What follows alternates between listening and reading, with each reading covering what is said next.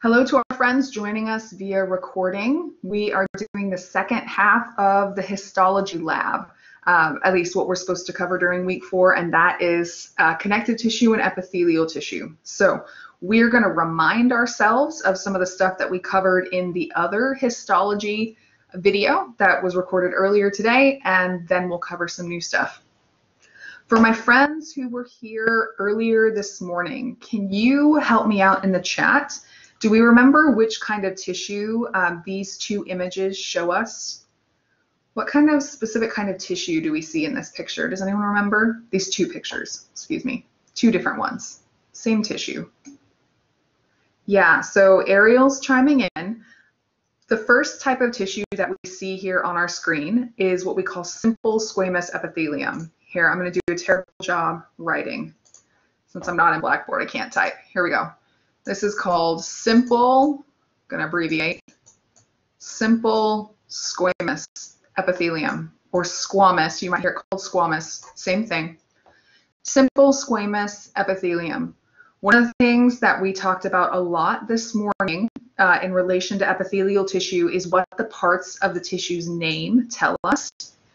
When I see the beginning part here, this word simple, I guess I'll write it all, right? When I see this word simple, what does it mean about an epithelial tissue if it's simple? So simple squamous, simple cuboidal. What does that word simple mean? Yeah, so simple means that I have one layer of cells, one layer. When I look at this type of tissue here, Notice how, let me find my little pointer here. Notice how I have one line of cells right here, and I've got a line of cells right here, a line of cells, it's all squiggly, right, over there. Here's a line of cells next to each other, one down here. When we talk about simple epithelium, you're going to see skinny lines of cells. There's one layer of cells, they're all next to each other. That's what simple means. When I start talking about there being more than one layer of cells, You'll see the word that we're going to talk about in a moment called stratified. Stratified. Stratified means that there's more than one layer. Stratified. So we're looking at a type of epithelium called simple epithelium, meaning I've got one layer of cells. The second part of the name of this type of epithelial tissue, it's simple squamous or simple squamous. I like to call it squamous. Um, when we talk about this, this type of cell, this is the shape of the cells. So when you think of squamous cells, I want you to think of flat cells uh, or very skinny, or I mean, technically, uh, what this word squamous means is actually scales, kind of like scales. So think about scales like on a fish. Um, that's the these flat scaly cells. They they look maybe kind of circular, uh, like a squished circle. So the first type of epithelium we're looking at in our picture here is simple squamous epithelium. We talked about this morning how simple squamous epithelium is found in the lungs. So what you're actually looking at when you look at simple squamous epithelium is a type of slide that's going to have these big white spots on it. These big white spots are actually open spaces in this type of tissue. So in your lungs, we have these things called alveoli or air sacs. And you're looking at a cross section. If we chopped those air sacs open, this is what they would look like. We'd have a ring of cells on the outside, and we'd have an open space in the middle where you'd actually have oxygen. So simple squamous epithelium. Your, your tricks to identifying it, we're looking for these big open spaces, these big open spaces where there would be air. When we're talking about the location of this kind of tissue, the, the location is technically called the alveoli, the alveoli, or in, in easy person words, air sacs, air sacs of, of the lungs. Sorry, that writing is just terrible. uh, let me mention for my friends who weren't here this morning, um, there is a document called the Tissue Location and Function Guide. You can find it in Visible Body or you can find it in the student Google Drive, wherever you're downloading your worksheets for each week. There's a thing called the Tissue Location and Function Guide. You'll notice when you're looking at that, it lists for you all the, the locations and the functions of each type of tissue that you need to know. Please only learn the functions and locations that are in bold, the really dark ones. We've only got so much space in our mind in this amount of time that we have to learn these things. We don't need to learn extra information right now. So when you're looking at that tissue location and function guide, you'll see that the location that you're supposed to know is the alveoli, which is the air sacs of the lungs. You'll see that the function that's in bold, what you're supposed to know is that this type of tissue does diffusion, diffusion, which ties in really nicely to lecture stuff, right? Diffusion is where stuff goes from high concentration to low concentration. So when we talk about these cells, I've got a whole bunch of oxygen out here not as much oxygen inside these cells or inside the blood vessels that are around these cells. Oxygen diffuses from where you breathe it in into the cells throughout the body. So simple squamous epithelium, uh, one layer of cells, they're really flat and scaly, and you recognize it with these big open spaces. Our first type of, of epithelium, simple squamous. Next type of epithelium, let me get my pen again. This is another kind of simple epithelium. So we're still talking one layer here, simple epithelium, but the, the shape of the epithelium we're talking about this time is called cuboidal. Cuboidal. Hey, I bet that we can guess, even if we weren't there this morning. If I'm talking about a cuboidal cell, what kind of shape is that going to have? A cuboidal cell. Yeah, cuboidal cells, they're, they're kind of cube shaped. Um, the way I'm going to type this, because I just don't want to write this much, um, sometimes the way you define a cuboidal cell is it's just as tall as it is wide. So just as tall as it is wide. Let me let me show you what I mean by that. A cell that's just as tall, click, as it is wide is a cuboidal shaped shell, shaped cell. Ugh. The other way that you'll recognize cuboidal cells is their, their nucleus is really big compared to the size of the cell. So let me show you some of our cuboidal cells here. See this open space right here, and then I've got a line of cells that are around it. These dark spots that I see right here are the nuclei of those cells and the, the cube-shaped cell is, is everything that's around it. So I've got this light purple line on the outside of this little circle here. That's something that we call the basement membrane. Um, that divides up these cells from all of their neighbors because I've got neighbors all over the place here. So I've got one row of cells and let me, here, let's frame them in. I'm going to use a color that I hope shows up. My basement membrane is, is here on the outside of my blue circle here, or on the inside, excuse me, my blue circle, I've got one set of cube-shaped cells. Or if I go up here, I'm going to circle again one set of cube-shaped cells. Up here, another one set of cube-shaped cells. So when we talk about simple cuboidal epithelium, the way you're going to recognize it is you're going to see these white spots they're much smaller than the white spots we saw with, with our simple squamous epithelium.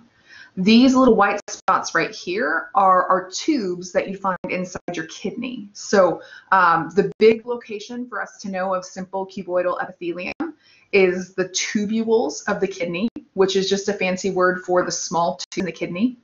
Each of these circles right here would actually be filled with urine uh, or stuff that were precursors to urine that were in the process of filtering. So the, this type of cell here, when we talk about cuboidal cells, they're really good at doing, it's called secretion and absorption. Secretion means I'm spitting something out. Absorption means I'm absorbing something.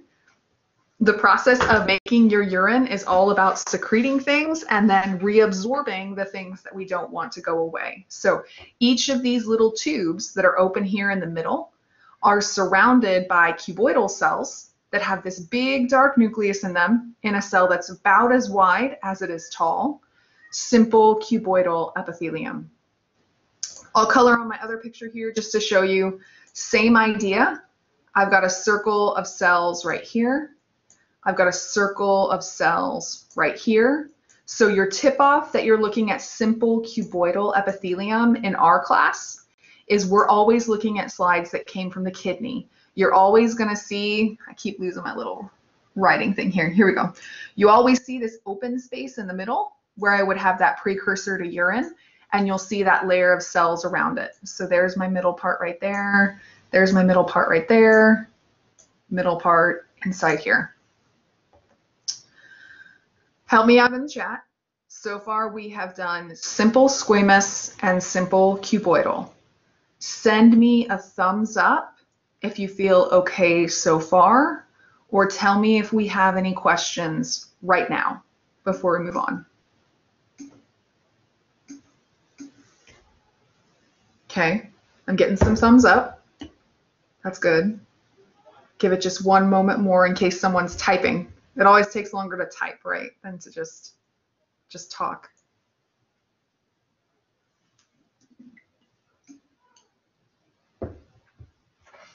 Okay.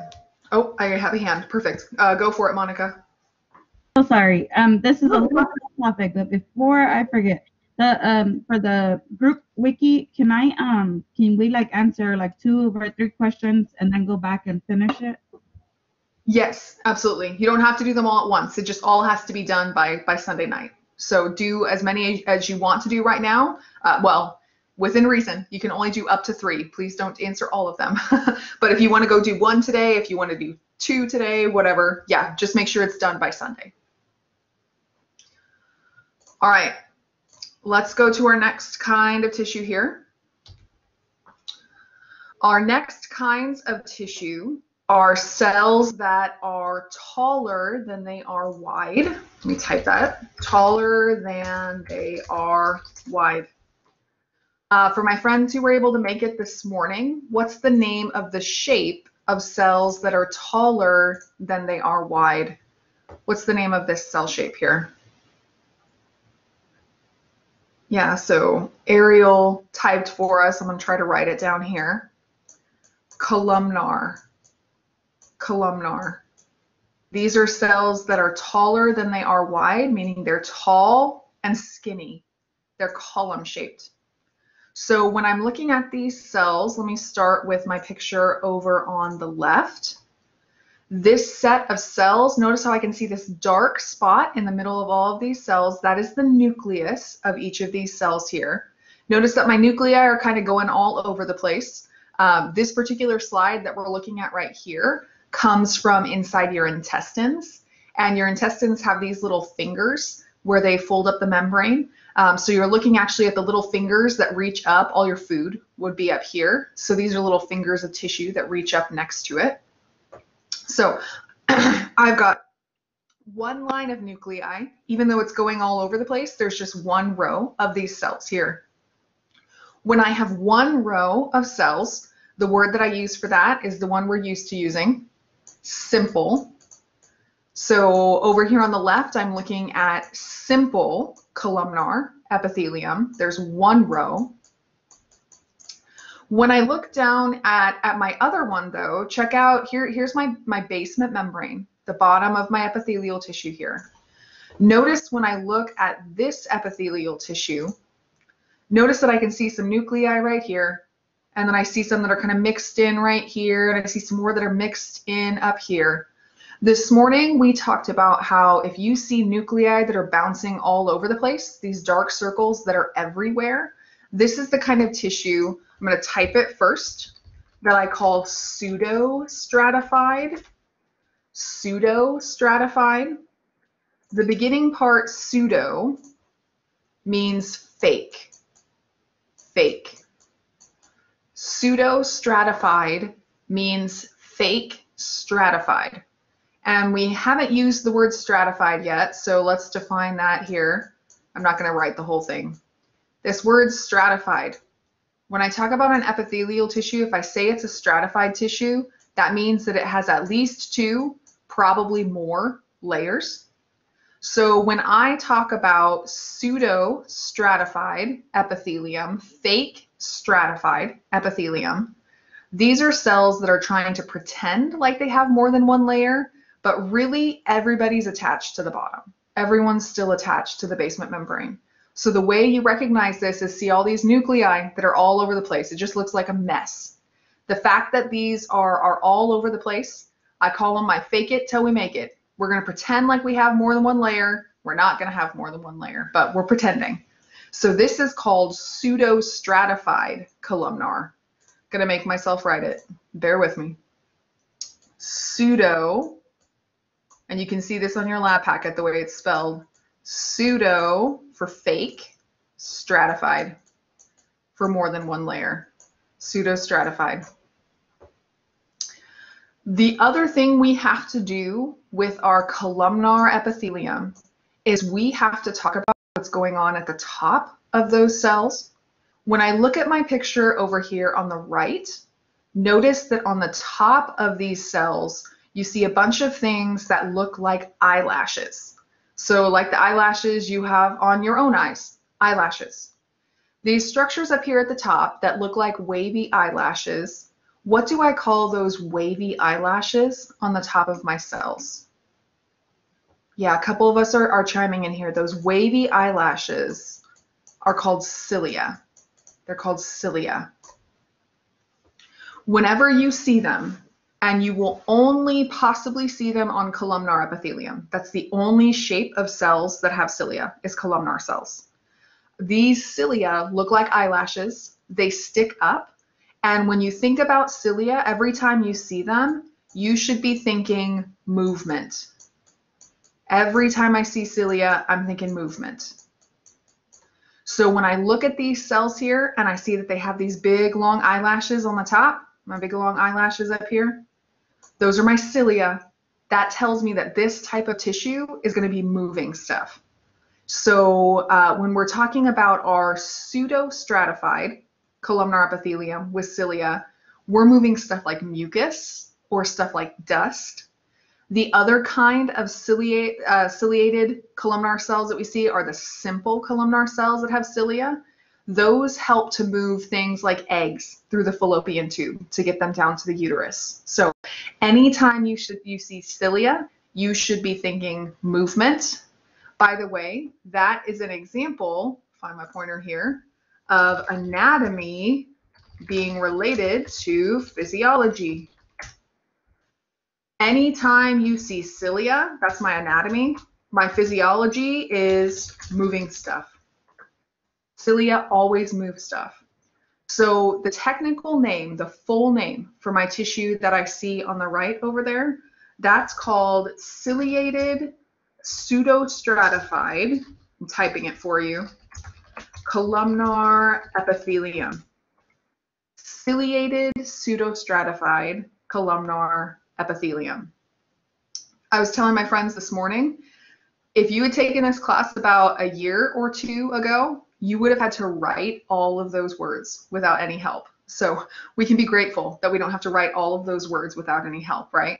It's hard enough just to learn them. I'm not going to make you come up with all of those out of thin air. So uh, my type of tissue that we're looking at on the left side of the screen, pointer back, ciliated because I have cilia up here on the top pseudostratified because my nuclei are going nuts all over the place. Columnar epithelium because these cells are tall and skinny. When I look at my tissue over here, notice that my tissue over here doesn't have all of the big long eyelashes that I see everywhere, like I see on the top of here. Notice how, for example, this space over here, we look kind of fluffy on the top or fuzzy on the top. These little fuzzies that I'm seeing up here are structures that I call microvilli. Microvilli. So microvilli kind of look like peach fuzz. And the job of microvilli, this, this peach fuzz stuff on the top of these cells, it's not to help with movement. Microvilli actually help with absorption. Absorption. So when I say absorption, I'm meaning things like nutrients or water. Microvilli help us to absorb water so we don't get dehydrated, or they help us to absorb the nutrients in our food so that we have energy. So when I see a cell that has peach fuzz on the top, and again, we're talking about columnar cells here. When they have peach fuzz on the top, I would say that those cells have microvilli. Except I don't say in their name that they have microvilli. What I say in their name is just that they don't have cilia. So the type of, of epithelium that you see on the left side of your screen is called non-ciliated simple columnar epithelium. Non-ciliated means I don't have cilia, which in the case of columnar epithelium means instead I have microvilli. So non-ciliated, simple, I have one layer, all those nuclei are in one line. Simple columnar epithelium because these are column shaped cells. You'll notice in your lesson number four lab packet that we gave you a picture of a simple, so ciliated, simple columnar epithelium. We don't have a slide in the lab to look at that. So that is the picture um, or pictures that look very similar to that. Um, that is what you need to make sure you know for ciliated simple columnar epithelium. Um, that is only found in a few, very few places, and we don't have a slide showing those places. So um, the main types you're going to see on, on images when you're trying to sort them are either the ciliated pseudostratified columnar epithelium or the non-ciliated simple columnar epithelium. Those are the main ones that we ask you to identify in pictures. Yeah, so Keenan asked the clarifying question, uh, when they're non-ciliated, they have microvilli. That is correct. Yeah. Our options with columnar cells, either they are or are not going to have cilia. If they do not have cilia, then they have microvilli. So you're always going to see something on the top of these column-shaped cells. Either it's going to be those eyelashes or it's going to be that peach fuzz. Whatever it is that you see on the top, we have a word to describe it because this is anatomy, right? There's words for everything. So if I if I've got those eyelashes, it's ciliated. If I don't have eyelashes, it's non-ciliated. Good question. All right, let's look at our next type of epithelial tissue. Actually, sorry, before I do this, my friends from this morning, we already looked at this these examples together. Uh, I want you to help me out, my friends that were not here this morning. When I look at my tissue here on the left, Let's start with this right here, the stuff along the top. What is the name of, of these things here along the top? What are these little guys up here? Who can who can help me out? Can we tell?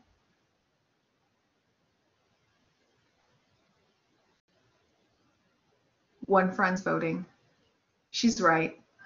Uh, we are looking at those eyelashes again here on the top, you can see them really clearly on this particular image. All those those eyelashes, all of those cilia. So this type of tissue that I'm, I'm looking at here is a ciliated tissue because it has those cilia. When I look at the shape of these cells, they're pretty tall and skinny. What was the name of the shape of cells that were tall and skinny? Tall and skinny? Yeah, those ones are my columnar cells. Absolutely, we're columnar cells. And notice when you look here, my nuclei zigzag back and forth. They're going all over the place when I'm looking inside here. When my nuclei zigzag all over the place, these are my fake it till you make it cells. These are my pseudostratified cells. So the tissue on the left, again, here's its full name, ciliated pseudostratified columnar epithelium. It's one of those types that we looked at before. Another picture of that, that ciliated pseudostratified columnar epithelium. Hey, here's something that I did not mention this morning that I want to point out now because I forgot to say it this morning. See this little thing right here and right here and right here these little circles that you see uh, that are a little bit lighter than the cells, the, the rest of the cells in there, those are things called goblet cells. Goblet cells. Goblet cells are a type of cell that make mucus and I will only see goblet cells mixed in with columnar epithelium. There's another way to recognize columnar epithelium is seeing these goblet cells. Um, a, a, gross analogy to help you remember what they do is just think about a goblet full of, of mucus. Really bad imagery, but now you'll never forget. So uh, a cup full of mucus, that's what these goblet cells are. So when we talk about uh, this ciliated pseudostratified columnar epithelium, find this in, in your throat, in your respiratory tract. And we use mucus to catch the crud that you breathe in. So dust, debris, bacteria, so these cups full of, of mucus are, are spitting out mucus on top of the cilia and the cilia are, are moving back and forth, back and forth to help move that mucus to catch anything that you might breathe in. So goblet cells, I can see a few of them mixed in here. You'll see as, as you're sorting through other pictures of our tissue types, you'll see some really clear goblet cells. They're much lighter than the tissue. So you can kind of see them on this picture, but I know there's there's some better ones as well. Yeah, so Mike asked what a goblet is. That's a fair question. Yeah, and, and Nicole's right. It's kind of like a fancy fancy cup. Yeah, so here I'll I'll draw you what what I picture a goblet looking like. Kind of like this. I guess you kind of say it's like a wine glass, right? Here we go. So instead of our, our wine glass here, if, if this was wine, we'd have some wine in our wine glass, right? instead of it being wine, we've got mucus in there. That's lovely, right? Lovely analogy. yes, I actually, when I was saying goblet, I was thinking of Harry Potter fire. Um, that's a fun one. Uh, and yes, to answer Sarah's question, she asked these are only found in columnar epithelium. That's correct. We only see goblet cells in columnar epithelium. That is correct. Yep.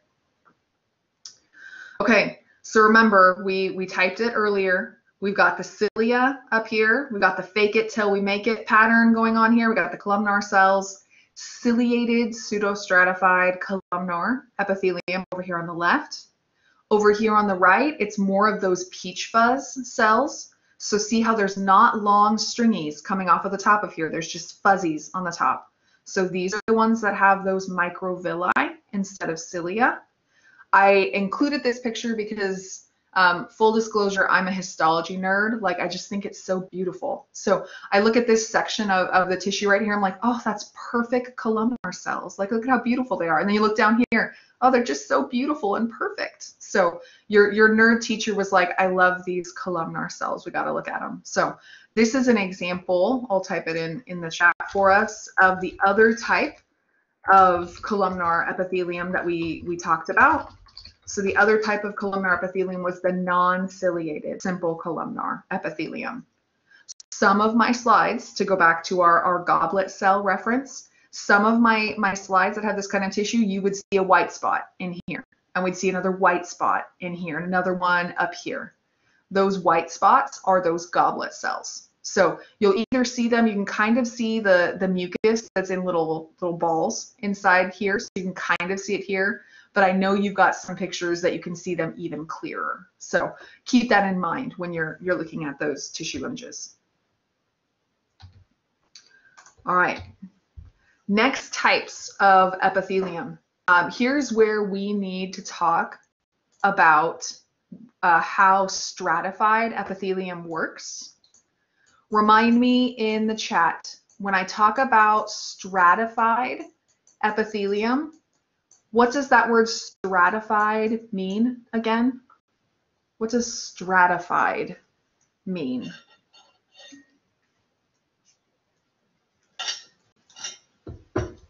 Yeah, stratified means there's more than one. There's at least two, maybe more. Here is an important idea that I mentioned this morning that I want to reiterate with you guys.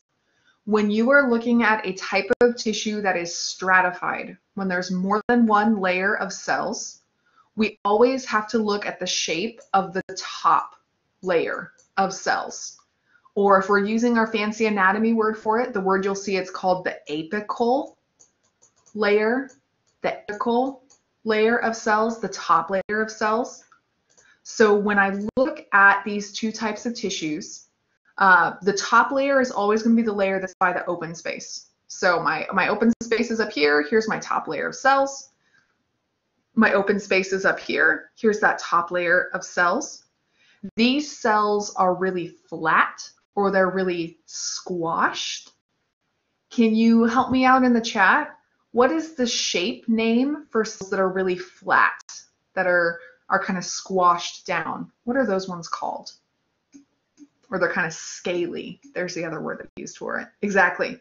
Uh, that, that shape name is called squamous or squamous. We have two types of stratified squamous epithelium. So two types of epithelial tissue that has these flat cells inside of it. The first kind that I see on the left, let me pick a different color to make sure it shows up. Uh, the first kind I see on the left is called non-keratinized. Non-keratinized.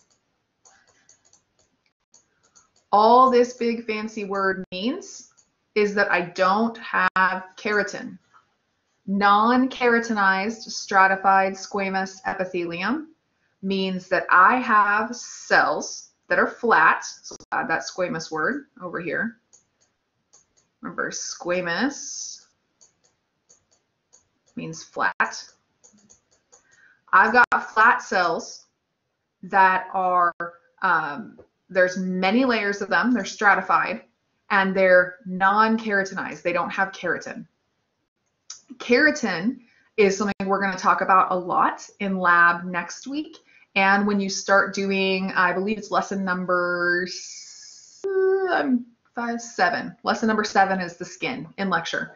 We're going to talk about how keratin makes things really strong or really resistant to damage.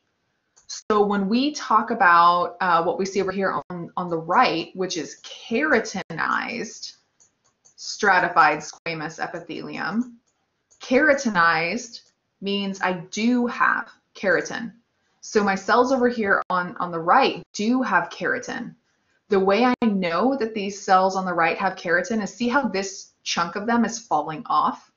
Or this part over here, even though it's not falling off, I don't see any nuclei or any little dots out here. See how on this one over here, when I look in the outermost layer, I can still see those dark circles, those dark dots that are out there.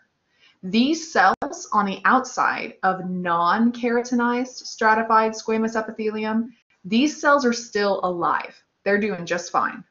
These cells that are out here that literally are falling off, these cells are dead. And they're dead because they're full of keratin. So when we look at keratinized stratified squamous epithelium, you will always see the cells falling off of that top layer when I look at non-keratinized stratified squamous epithelium, all of those cells will still be attached and you'll still be able to see their nuclei out there because these cells are still alive. Um, Nicole asked if we would ever use these words with simple epithelium. We would not.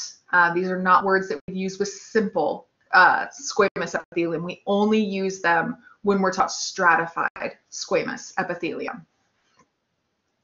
Uh, so that we, we got the question in the chat again. Uh, so help me out in the chat. What does it mean when I say that the cells are keratinized? Did anyone catch that? What does it mean if the cells are keratinized?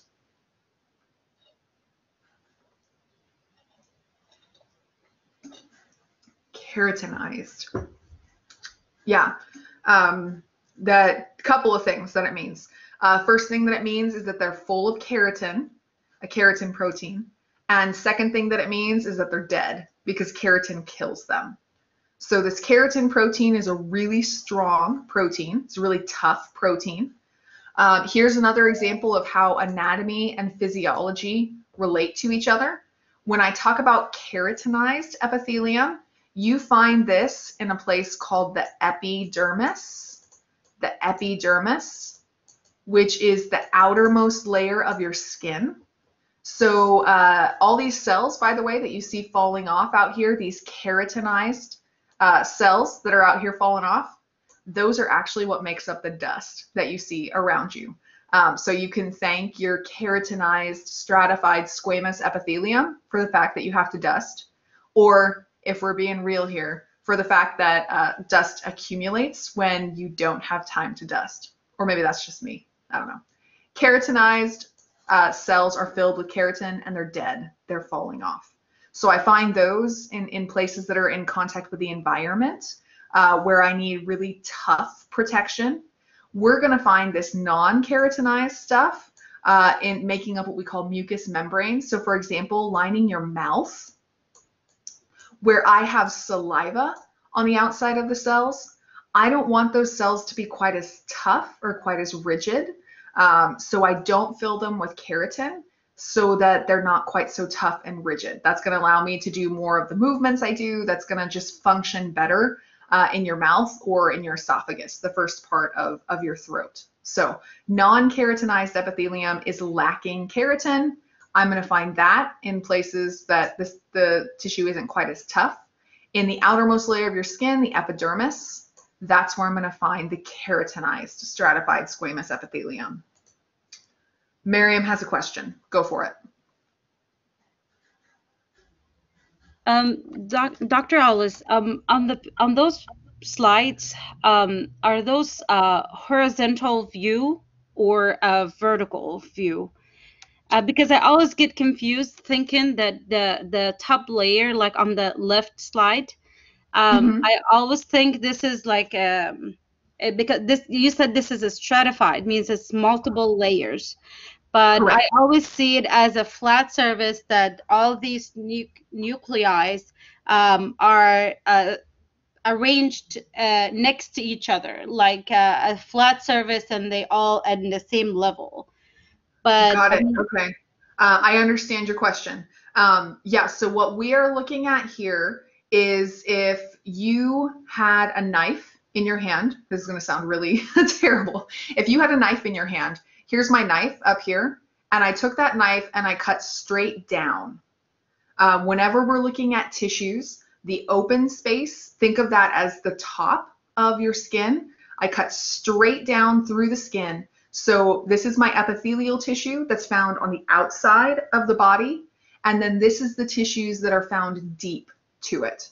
Uh, so when we're looking at, uh, especially when we're looking at this stratified squamous epithelium, this white part here, consider that as the outermost part, the top part, and then imagine that you cut straight down through it. So cutting straight down from the top of your hand down through.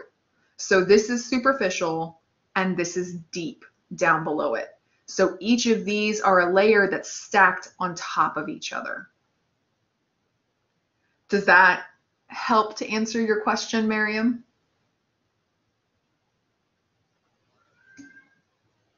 Perfect. Good. Okay. Yeah. So especially when we look at, let me, so let me bounce back here. I'm going to go back to these tissues. Same kind of idea uh, up here. This is the top. So this is the type of epithelium that we find in your throat. So where you're breathing in air, this is where the air would be. If I took a knife in, in your throat where the air is and cut straight down, here's the epithelial cells and here's the connective tissue underneath it or here's where your food is in your digestive tract. I take a knife where that food is and cut straight down. This is where I'd see the connective tissue underneath those epithelial cells. So here's kind of a, a general hint uh, about epithelial tissue. Um, epithelial tissue is known as covering and lining tissue. Mentioned that last week, covering and lining tissue. It's found covering the outside of the body or it's found lining the inside of the body. You're always going to find epithelial tissue next to a space. So in this case, with my, my stratified squamous, it's next to the outside of the body. Uh, when we were talking about things like the air sacs of the lungs, the epithelial tissue is right next to the air or when we're talking about the kidney tubules, it's right next to the inside of the tubes, which leak to the outside of the body. So epithelial tissue is always on the slides, always going to be found next to, next to some empty space because it's either on the outside of the body or it's next to some kind of empty space in the body. All right, I believe this is my last, let me check. Yep, this is my last epithelial tissue slide. For my friends who were here this morning, can you remind me what this type of tissue is called? Does anyone happen to remember what these these tissue types were? Yeah, so these are um, the, the saddest type of tissue. I'm, I'm going to call them the saddest type of tissue. These ones here are called transitional, transitional epithelium. Now, transitional epithelium, its name does tell me something about its shape. What does the name of transitional epithelium mean? What's going on with the shape of transitional epithelium? Yeah, so Monica used the word, it, it varies. Nicole Ariel is saying it changes. Yeah, when I talk about transitional epithelium, the shape of my cells changes, it transitions.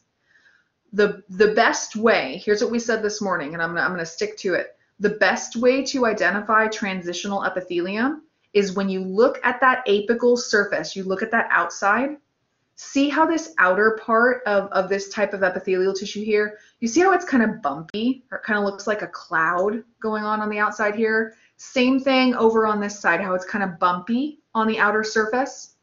The fact that these cells are kind of bumpy, um, that comes from the fact that they're going to change their shape. So these are, are pictures of, of transitional epithelium. Um, so we find it, just as a heads up, in places like the bladder, or the ureters, which are the tubes that connect to the bladder.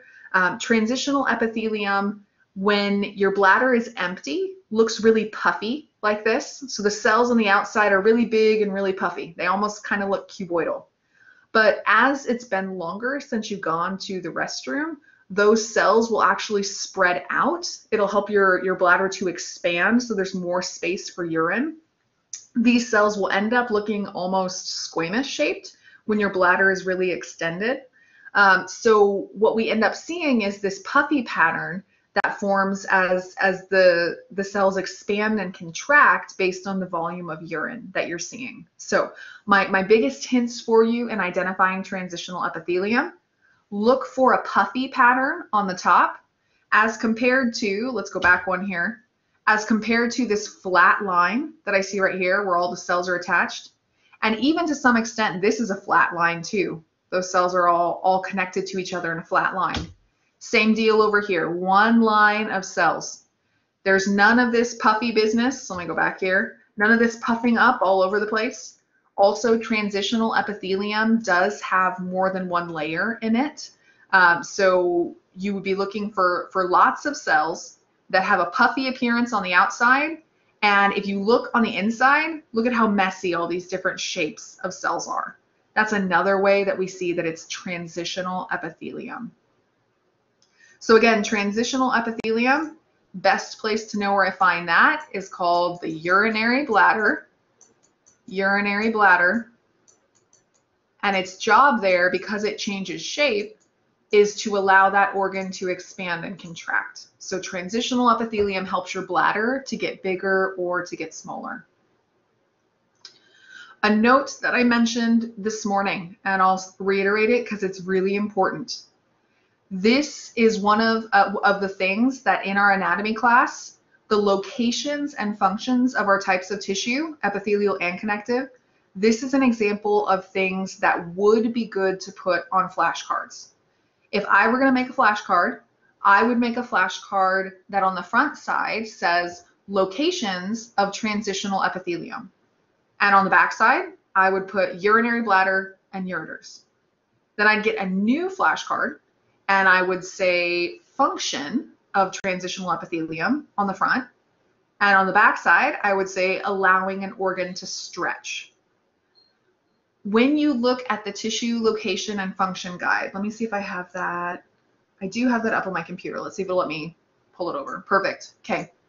This is, you can find this uh, either in the student Google Drive or in Visible Body. Notice how when I talk about simple squamous epithelium, for example, there are multiple locations in the body you can find it. it. We find it all over the place. But only the alveoli of the lungs is in bold. Since we are, are learning so much new information, I only want you to learn the information that's in bold because that's what's going to show up on the assignment and that's what's going to show up on the exam. So For your note card that says the location of simple squamous epithelium, on the backside we just write the alveoli or the air sacs of the lungs. For my note card that says the function of simple squamous epithelium, we just write gas exchange or diffusion. We don't have to put filtration of blood. We don't have to put secretion of fluid. I mean, if you want to, you can, but what you're required to know is the stuff that's in bold. So for each of these types of tissue that you're looking at, make sure for those bold locations or functions, make sure that's what you put on your note card. Anything that's not in bold, let's skip it for now to focus on, on what's actually most important for us this semester. Hannah has a question. Just making sure, um, are we supposed to know this right now for the exam this week, or is this saved for the lab exam? This is for the lab exam. It's for the lab homework assignment and for the lab exam. So um, I, I, would recommend, I, I mentioned it this morning, this kind of stuff is not the kind of stuff that you can learn the day before you take the exam. Um, this is one of those things, and I said it this morning, it's not sexy, but the only way you're going to be able to learn this stuff is repetition. We just got to see our flashcard that says that ciliated pseudostratified columnar epithelium is in the trachea and the upper respiratory tract. We got to see that flashcard like 20 times. Once we've seen it 20 times, we're going to remember that. But we have to see it those 20 times to remember it. So um, if you are a flashcard studier, we need to make our flashcards like today or tomorrow. We need to get those flashcards made now so that we have enough time to actually use them. Because if we wait until the night before the exam to make our flashcards, we're not going to have time to actually study with them. So try to get those flashcards made. You have that space in, in your lab packet for you to write the locations and the functions. If you want to put it in the lab packet as well, just make sure to only write the things that are in bold. And you'll see that too, uh, for example, as we get into the connective tissues, which is where we're going now. Notice that for many of the connective tissues, there are other uh, locations or other functions that are in bold for these types of tissues that you don't have to know. So anything that's not in bold, don't focus on that. Really focus on learning the stuff that's in bold. So put that on your worksheet, put that on your flashcards. All right, let's move to connective tissue. The first kind of connective tissue that I want to show you guys is a type of connective tissue called adipose connective tissue. Hey, adipose should ring a bell for us because we actually read about this in lecture. What's the easy person name for adipose tissue? What do normal people call adipose? What's the easy word for it? Yeah, so Nicole is correctly voting that adipose tissue, the easy person word for it is fat. So we learned about the type of cells, or you read about brown fat and white fat cells. Those are adipocytes. So cells in adipose tissue are called adipocytes. Now, my image over here on the right, this is the primary way that, that we will see adipose tissue. Um, when we're looking at our adipose tissue in our image over here, notice that we see these big wide circles. These big wide circles are each one cell. So each of these represents one adipocyte, one fat cell. The other way that you'll see adipose tissue though is what we see over here on the left side. On the left side, instead of having big empty cells where my lipids, my fats got washed away, I actually stained those lipids on this particular slide here. So these orange areas that you see inside that tissue, each of these are individual cells as well. And the lipids or the fats that are inside of them have just been stained orange. So imagine if instead of washing away all the fat that was inside these cells, instead I left it inside of there and I stained it orange. That's what's going on over here. So two appearances of adipose tissue either these cells that are filled with orange fat that I can see, or these big circular cells that look empty because I washed away the lipids that were inside of them. Now, I need you to write a note for yourself. And the guided lesson mentions this too.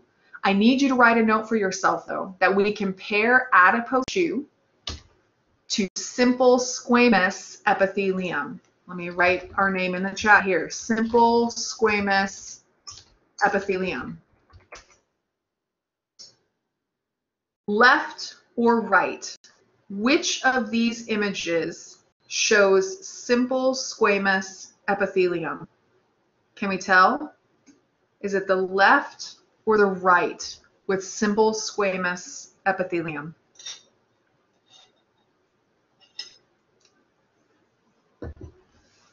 Some of us are afraid to vote. Um, several of our friends have, have voted for the left, and that is correct. This image that I see over here, this is my simple squamous epithelium. Remember when we talked about simple squamous epithelium that there was white space on that slide because that's where the oxygen is inside these cells. So simple squamous epithelium on the or on the left, excuse me. On the right, we have adipose tissue.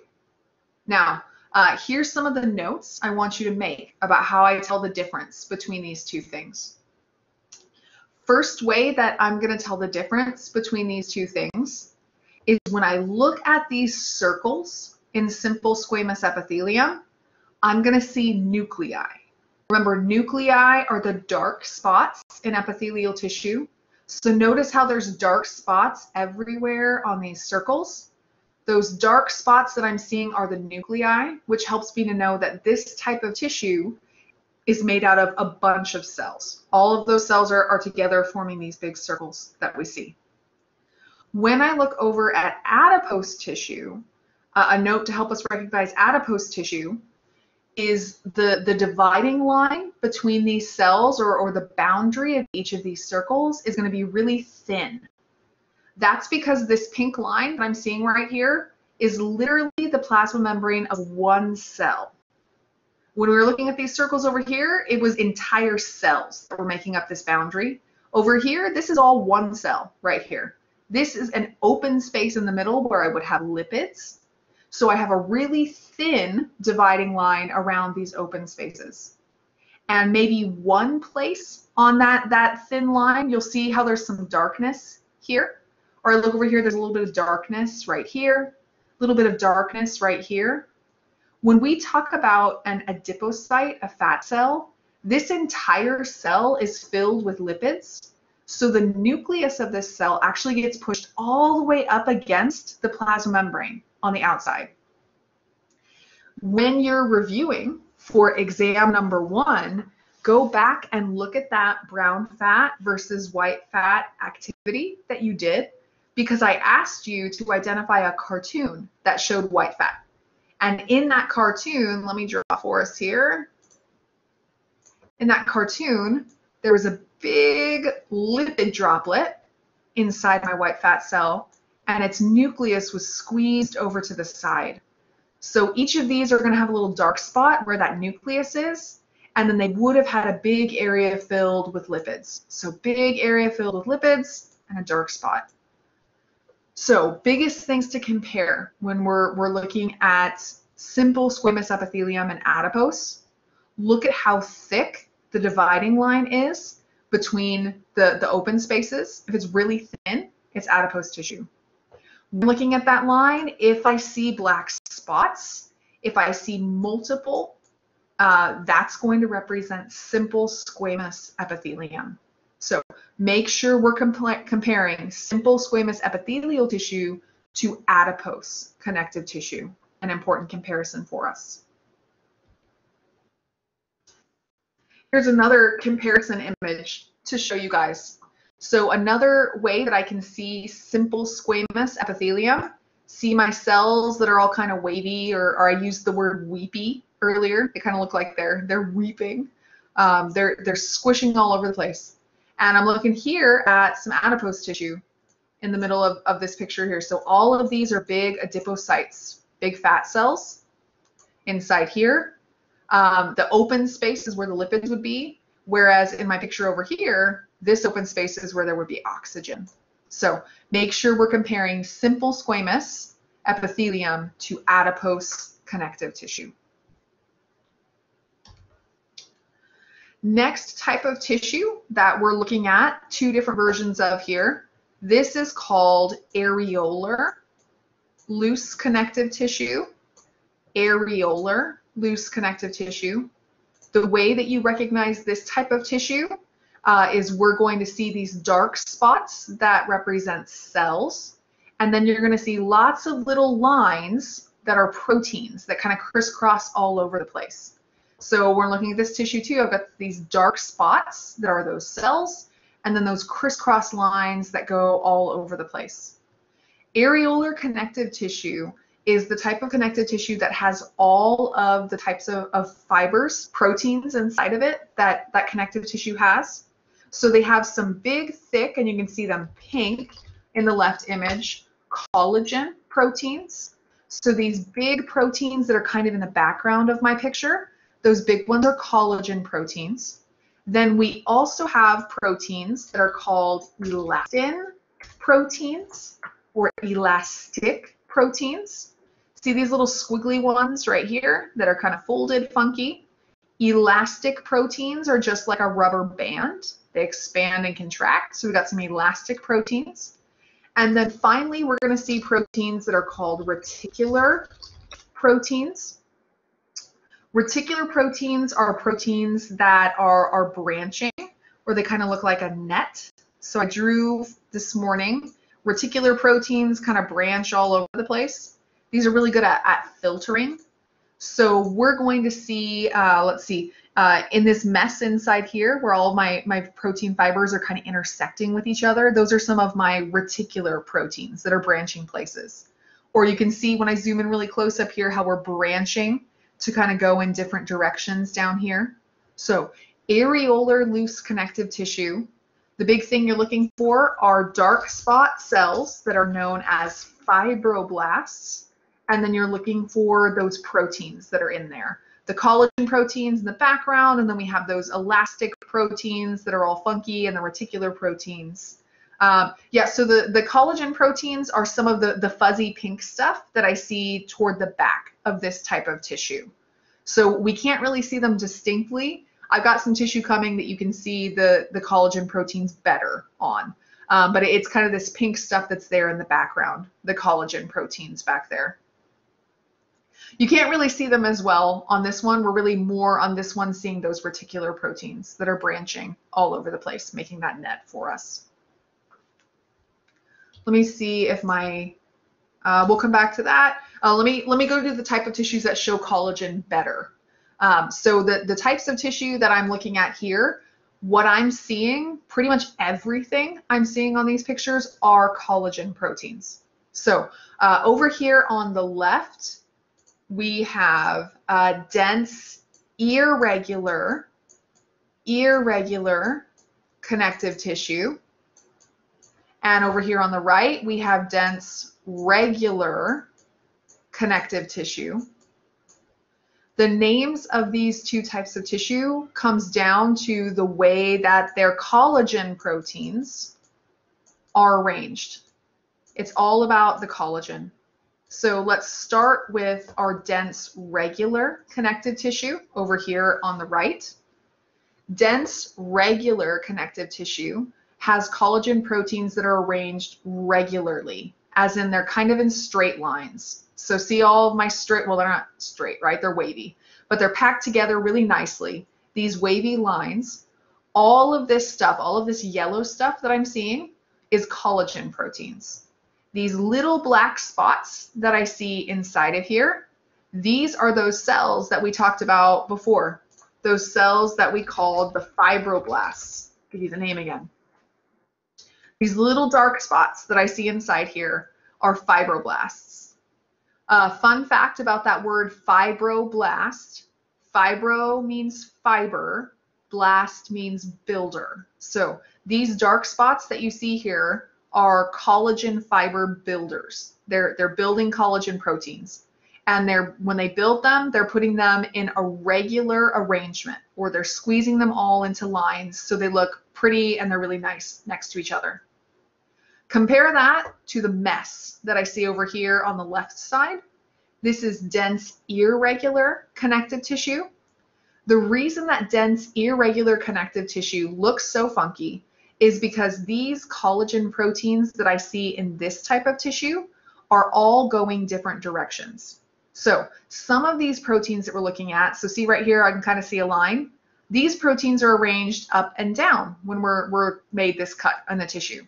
Some of these proteins, like I see right here, were probably sticking out straight at, at your face. So imagine them coming out of the board towards you. Some of them are, are kind of at an angle, so we see them traveling differently. The big idea with dense irregular connective tissue is I've got a ton of these pink collagen proteins but they're really not arranged in any particular way. And that's a good thing for making these types of tissue able to stretch and be strong in a lot of different directions. Um, but it just looks really ugly. I, I like, I have, have a colleague who says that this kind of looks like a Picasso painting um, where it's just kind of swirly and all over the place. I like to say that dense irregular connective tissue makes my OCD sad. Like I look at this, it's like, what kind of mess do we have going on over here? This is just just insane. Over here, this dense regular stuff, that's nice and calming. All of my proteins arranged regularly. They're all going the same direction. But again, both of these, we are looking at the arrangement of collagen, the, that thick protein. Lots of proteins because they're dense tissues. So the difference comes down to the way that I put those collagen proteins together. That other protein we talked about, one of the other proteins we talked about, was the elastin protein. Elastin protein. Hey, here's a note that I want you to write down. I want you to underline, highlight, star. Whenever I have this elastin protein, whenever I have any kind of elastic uh, tissue, you will always see the color purple. Again, anything with elastic in its name, you're always going to see purple because elastic proteins, when I put them on a slide, I stain them purple. So here on the right side, the picture I'm looking at right here, notice the all these little purple stringies that I see here. Those are my elastic proteins. And then this pink that I see mixed in with it, those are actually my collagen proteins. I am looking at the type of tissue called dense elastic connective tissue. Dense elastic connective tissue. Dense means it's full of proteins. Elastic means those proteins are collagen, but also these elastin proteins that I see inside here. And remember, the elastin proteins, are always purple. We're looking for purple. So if I've got purple and pink that are a mess together, dense elastic connective tissue. Over here on the left, I am looking at my first type of cartilage tissue. This is called elastic cartilage. I know it's elastic cartilage because I've got this purple lines that are inside of it. So those purple lines are elastic proteins that I'm seeing inside this tissue. And then notice that I have these really big groups of cells. These really big groups of cells that I see inside here. Those cells are a type of cell called chondrocytes. Chondrocytes. Chondro means cartilage. So these cells that I'm looking at here these big, large cells are the cartilage cells, chondrocytes. And because they have these purple lines around them, I call this elastic cartilage. So again, big idea. Anytime we've got elastic in the name, make sure you see or you can find those purple fibers. That's my tip off, purple fibers for elastic. So notice I'm looking at more purple fibers mixed in with my big chondrocytes here. So this is another example of what elastic cartilage looks like.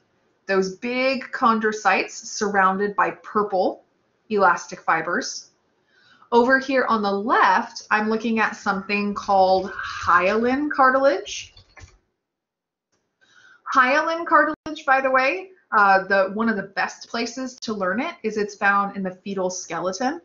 This is what all the bone, most of the bones in your in your body start out as, as hyaline cartilage. Great way to recognize it. It kind of looks like deer tracks in the snow. So imagine that a deer was walking around through the snow. So these sets of chondrocytes in their groups of two, those are kind of like, like the hoof print that a deer would leave behind when it's walking through the snow. So hyaline cartilage, uh, it's hard to see in this picture. Usually this background is going to be a little bit more pink than we see on this particular image, but you're always going to see that, that deer track pattern where it's groups of chondrocytes that are together as twos hyaline cartilage that I see in here. One other type of cartilage tissue that you're also going to recognize based on its color is fibrocartilage. Fibrocartilage gets its name because it has a lot of fibers, a lot of, in this case, collagen fibers. So 100% the way you're going to recognize uh, fibrocartilage tissue is the fact that I have these blue streaky collagen proteins. So when I make a fibrocartilage slide, the way that I prepare it and uh, the way that I, I, make it stay together and, and not fall apart is I use a stain that makes collagen blue. So when you see these blue wavy patterns, I see the blue wavy patterns over here too, that's my collagen proteins. And then you'll see these dark purple or the pink spots that I see over here, the bright pink spots, those are my chondrocytes, my cartilage cells, mixed in with these collagen proteins. So dark blue collagen proteins, bright pink chondrocytes, or these dark blue collagen proteins, purple pink chondrocytes that I see inside here. Both of these are my appearance of fibrocartilage. Fibrocartilage. And because this cartilage has so many protein fibers in it, it's really strong. This is going to be the type of, of cartilage that's really good at holding things together or absorbing shock. Both of those are the functions of this type of tissue because it has all of these strong uh, uh, collagen fibers inside of it.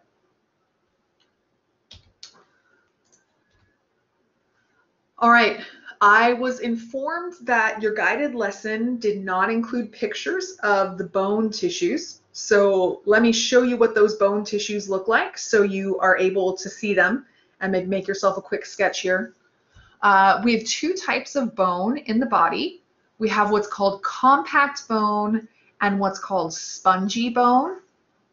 Let's take a guess in the chat do we think that the left image or the right image is what we would call compact bone? Left or right, compact bone. Yeah, so uh, we, we split our votes a little bit. A lot of us voted for the right. And what I see on the right here is actually compact bone. When you look at compact bone, I'll write that underneath it here, compact bone.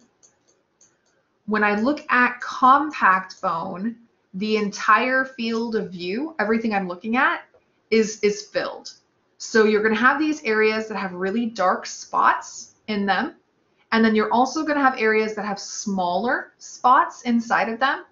But if you were to hold up this slide to the light, if you were going to look at this tissue just with your eyes, not with a microscope, this entire area would kind of look a beige color because compact bone is completely squeezed full. Um, in particular, it's squeezed full with what we call calcium phosphate.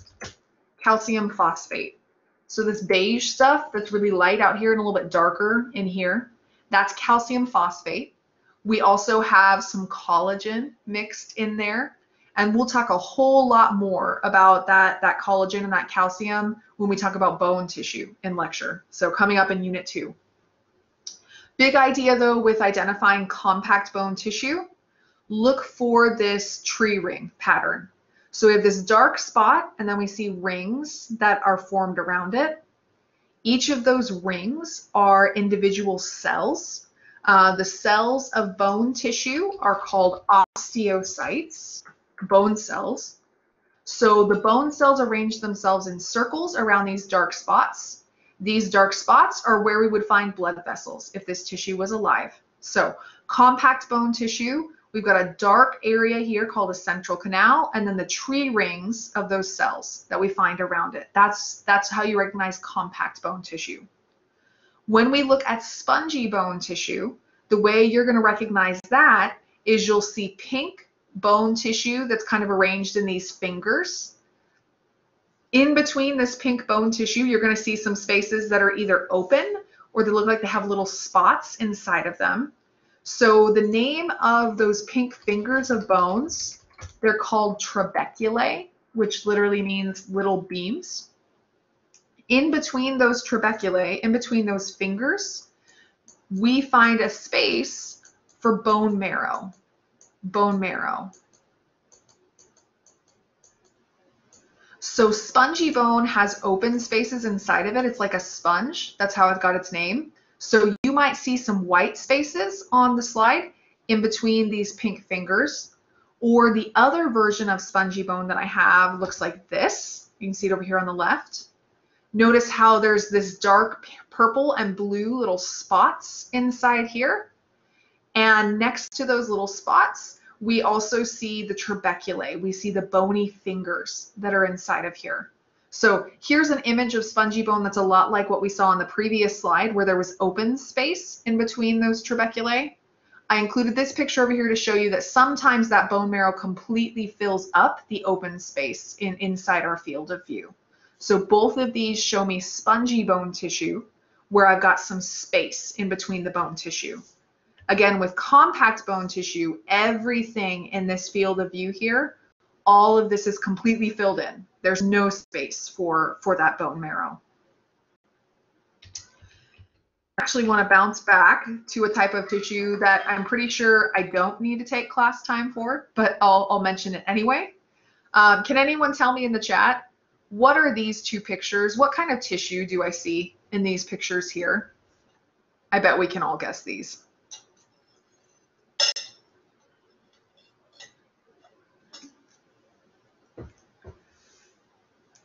Guess if some of us are afraid to guess, right?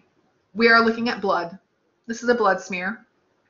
When we look at, at blood, uh, most of the cells that we see are these little red ones that, that look like they have a hole in the middle. These are those red blood cells that in lecture number two, we were talking about water going into or coming out of, right? Those red blood cells. Uh, I'll mention, let me, oh, it's not gonna let me, is it gonna let me zoom in? Here we go, let me try something. Do you see this funky looking cell right here? So this little guy right here, and maybe his neighbor's looking a little funky up here, and this one over here how the plasma membrane is kind of weird shapes. That's what happens to a cell when it loses water to the environment. Its shape gets a little bit funky. So especially this one right here, you can see that this one right here is, is starting to lose some of its water to the environment. So it looks funky. Usually though, they're gonna look pretty circular. They look like they have an open space in the middle because they're really flat in the middle. Um, oops, can I zoom back out? Okay, uh, so when you're looking at blood connective tissue, most of what you're going to see are these donut-looking cells. They're called erythrocytes, red blood cells. But then we're also going to see uh, what are called uh, leukocytes, which are white blood cells. The name is a little bit of a misnomer when you're looking at it on a slide because my leukocytes are these ones that I see here that are kind of really dark colored. This one's a little bit red. These ones over here are kind of like uh, have, have purple nuclei and then light pink. All of these things basically that are not red blood cells are, are white blood cells, are leukocytes. But then these little tiny dark spots that you see here, those are platelets. Can anyone tell me what's the job of platelets in your bloodstream? All these little tiny guys here. What do these little platelets help your blood to do? Anybody know? Yeah, so so platelets help with blood clotting. So these little dark spots that you see here, those are the things that when you get a cut, they actually literally will explode. Um, and that will help to make proteins that, that help your blood to, to clot so we don't lose too much blood. So platelets help with blood clotting. Erythrocytes, all these red guys here, uh, they help you with oxygen transport. That's the job of red blood cells. And then all of these different leukocytes, all of these white blood cells, these leukocytes help with immune reactions. So different functions of, of each of my types of cells. I want to confirm. Okay, one last type of tissue to show you guys. This last type of tissue to show you guys is called reticular connective tissue. Reticular connective tissue. And when I look at this type of tissue, we're really looking for those reticular fibers, those branching proteins. See all these little tiny lines, uh, almost like chicken wire that's that you'd use to build a fence. Um, and then I see these dark spots that are cells that are kind of sitting on top of it. So all of these little branching proteins that I'm seeing inside of here are my reticular proteins. Remember that I said reticular proteins are kind of like a net. So the job of, of this, this type of tissue that I find in places like your lymph nodes is to filter stuff out. So by having all of these branching proteins that I see inside of here, I'm doing a really good job of, of filtering. I push fluid through it and catch bacteria, or I catch worn out red blood cells to prevent them from keeping traveling around in my blood. So the last kind of tissue for me to mention to you guys is this reticular connective tissue. Uh, and the way you'll recognize it is all of these little proteins that are mixed in uh, that, that form that little fine mesh in, in the background. And then you'll see these dark cells on top of it. These dark cells are, are actually white blood cells. So we have a lot of immune cells that are here when I'm doing filtering. So reticular connective tissue, that's that last type of tissue. Uh, Nicole asked in the chat, will proteins always be pink? Uh, in reticular connective tissue, yes, they'll always be pink. In uh, dense, irregular connective tissue, they will pretty much always be pink, maybe be brown. Um, but remember, things like fibrocartilage, they were bright blue. Or things like those elastic proteins, those were purple. So they're not always pink. Different types of proteins can be different colors, uh, but reticular proteins are always pink collagen proteins generally um, always going to be pink as well. Yeah.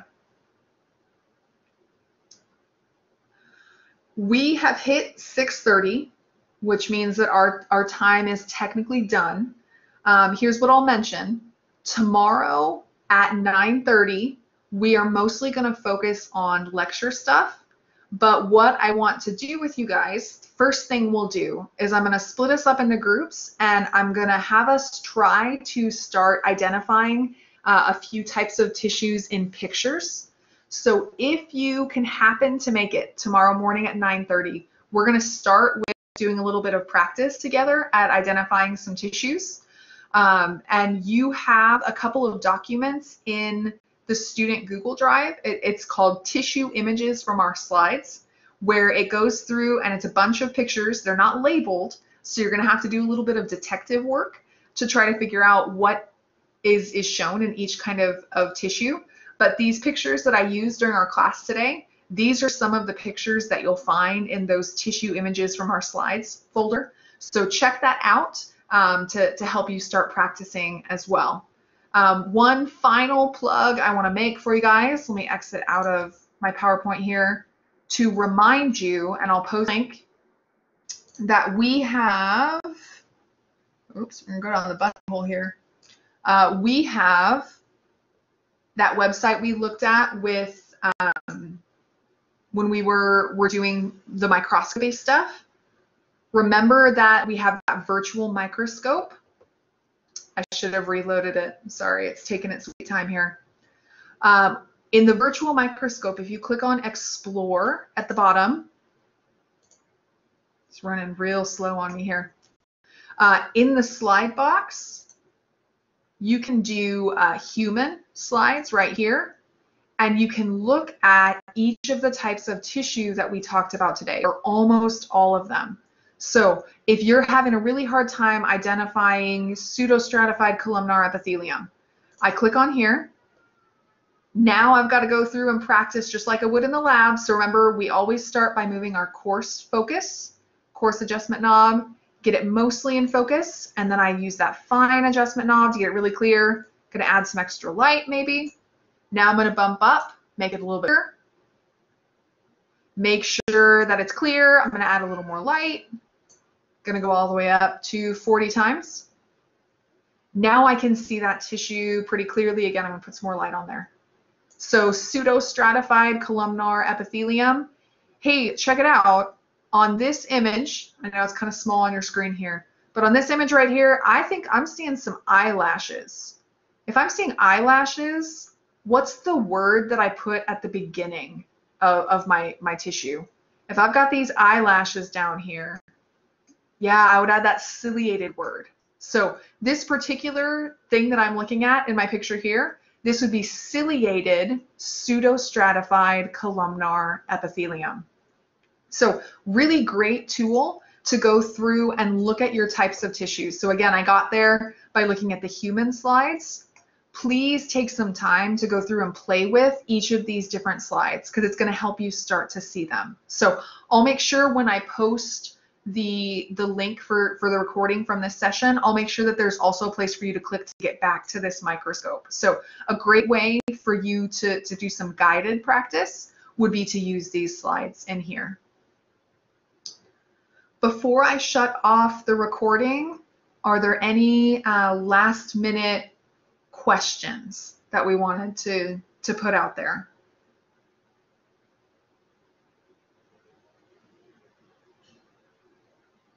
how are we feeling now? Are we feeling any better about our tissues? A little bit better? Nicole says she feels a little bit better. That's good. Hannah says she's okay. Hey, that's a start.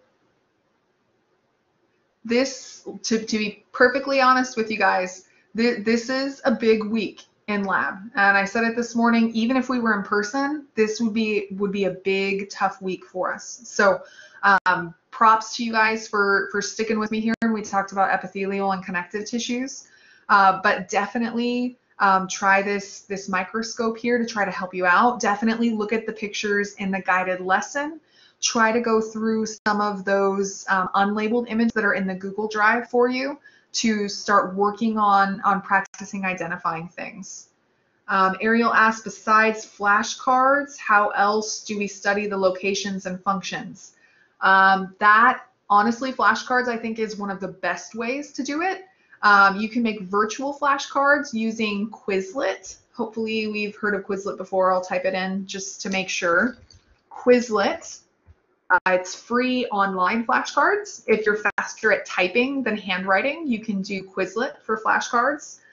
Um, I don't know if there is, let me, let me do something really fast. I'm gonna check. There's a website that I like um, called Free Anatomy Quizzes, but I don't I don't know that they do tissue stuff. Um, so yeah, my I, I think your best bet is probably um, probably flashcards. Hannah is is rooting for Quizlet. Um, the, the nice thing about doing flashcards for this is it chunks it up into really small pieces of information for you. Um, the other way, I guess, if, if you learn by writing stuff, you could make yourself a piece of paper where you just kind of write it over and over and over again. So uh, that would be the other option. Get yourself a piece of paper, write three columns, one for the name of the type of tissue, one for its location, one for its function, and just kind of write it over and over again. So if you're, uh, we call it a read-write learner, if that's the way you want to study it, that, that would work too. So you give that a try. Flashcards, Quizlet, columns of paper where we rewrite it. But the there there is no students always ask me what's the fastest way to learn this? Unfortunately there's not like a, a, super fast oh i'll just learn it overnight. Uh, I, I, don't have an answer for that one. So um, gonna take some time. Whatever way you want to make that time as as least painful as possible go for it. Um, I highly recommend, in case you uh, want to splurge to make your studying a little more fun, there's a type of, of pens called they're they're called Flair pens. That's uh, their their title. Let me see. I've got one in front of me here. I'm pretty sure. Yeah, they're made by Papermate. Um, this is totally random, but these are my absolute favorite pens to grade with, and they're really nice to write with. So if you want to make your flashcard writing um, more fun, check out those pens. They're they're pretty awesome. I know they sell, sold in stores everywhere. I just didn't add for for Papermate pens there, but uh, they're my favorite. So you could look into that. All right, I am done with everything that I want to share. So I'm going to shut off the recording and stick around for a couple more minutes. But if you can, try to uh, pop in tomorrow, 9:30, uh, same place. We will start covering lecture number four, but we're going to start with a little bit of, of tissue stuff too. So uh, goodbye to my friends on the recording. Hope to see you guys in a session soon.